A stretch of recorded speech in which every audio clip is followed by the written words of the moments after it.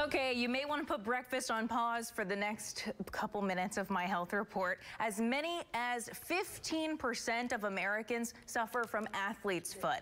It's a fungal infection that usually begins between the toes, but there are some remedies in your home that could help knock out this common ailment red, itchy, and irritated. We're talking about athlete's foot, and you don't need to be an athlete to get it. In fact, this common fungal infection can affect anyone. So, how do you get rid of it? First, try an over the counter antifungal cream, lotion, powder, or spray. If you're looking to go the natural route, soak your feet in a Listerine and vinegar 50 50 solution. The thymol in the Listerine has antifungal properties. Tea tree oil is another popular home treatment for fungus infections. Rub it into your skin twice a day, but never drink it.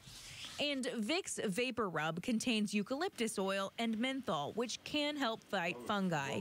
One study showed Vicks reduced athletes' foot symptoms in more than half of people who applied it. To prevent the infection, keep feet dry, especially between your toes. Change your socks often, sometimes twice a day.